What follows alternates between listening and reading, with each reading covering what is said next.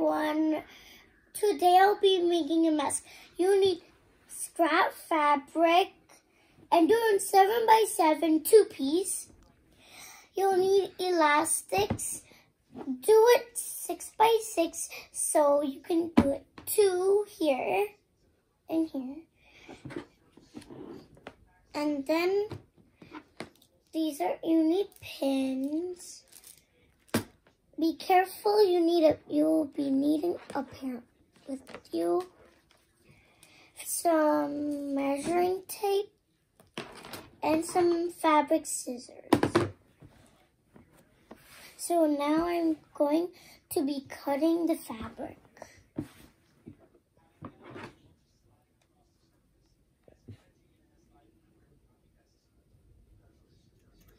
Now that you will have sheets of of fabric, put them on put the good side on top of each other.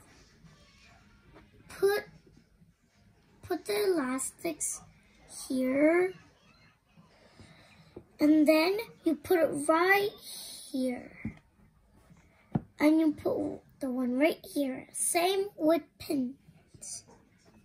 After that, you're going to stitch up the square, leaving two inches open. You can stitch either with a machine or with hand, whatever you have at home. Now that you have four sides stitched, leaving two inches open, not to flip the side.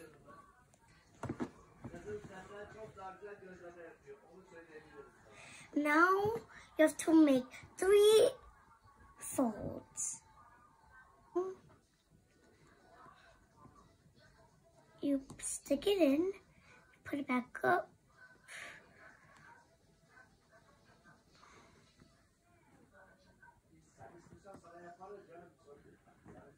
Now that I stitched this side, I'm going to stitch this side and do the same thing.